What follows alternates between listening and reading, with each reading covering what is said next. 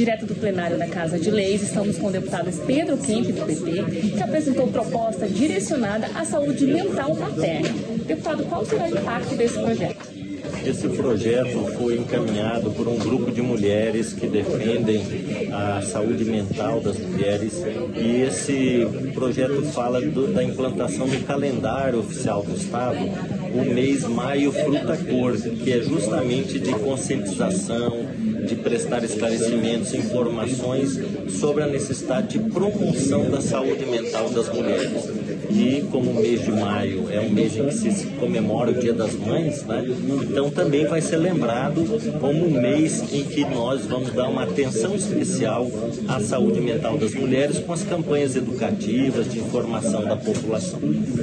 Obrigada, deputada. Acompanhe a tramitação desse e de outros projetos através das nossas mídias sociais.